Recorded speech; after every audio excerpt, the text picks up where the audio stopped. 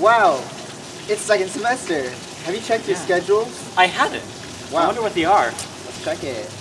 Why, did I get AP Computer Science? I didn't sign up for this. Is that AP Japanese? Oh my gosh. And we can't change our classes once we get them. Why do I have AP Japanese?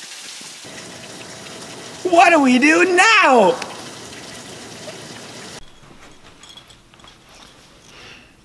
Silly sophomores. They have bad memes to procrastinate on everything. Ugh, no. They haven't even set up their schedules yet. I mean, the process is so easy. We should probably walk them through. Here's how you sign up for your Shorewood classes. So first, Sam, you you will receive your registration packet from your SAS teacher. Um, when you're signing up, it's really important that you make informed, good decisions. Um, you're going to register for the classes that you need to graduate, but also be thinking about your post-high school plans. Um, your choices are final, and we will hold, a, hold you to them, so choose wisely and choose well. Nearly all students will be required to take classes in the four core areas, which are math, English, social studies, and science. This is your registration guide. It's been pushed to your iPad electronically. Your iPad needs to have the most current updates for you to get it. The step-by-step directions for accessing the registration guide are on your student direction sheet, um, which is right here.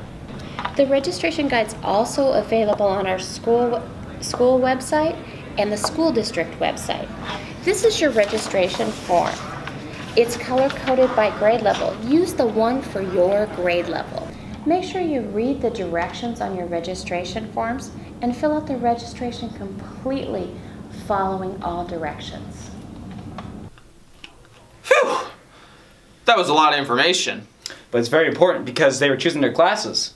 To help you make informed decisions, we've got some students talking to you about the classes. Let's throw it over to them. Read the registration guide. Most questions are answered in the guide. Having trouble access it? Hard copies are available in the counseling office during your free time. Talk to your current teachers to see what classes you can take next year because your teachers know you better and they know their department courses the best. Keep your graduation requirements in mind. Your graduation checklist shows completed semester credits that you've earned by passing your classes. If there is an error, let your counselor know. Get informed about the courses, talk to the teachers who teach them, or attend the optional info sessions if they're available. Keep your social life in mind, like how much time do you re realistically have for homework? Keep college requirements in mind. Some colleges may look for more than what's required in the Shorewood diploma. So, for example, senior math. Some colleges may even want to see you challenging yourself your last year of high school. Still have questions? Counselors can help you during drop-in times, before school, breaks, lunch, and after school.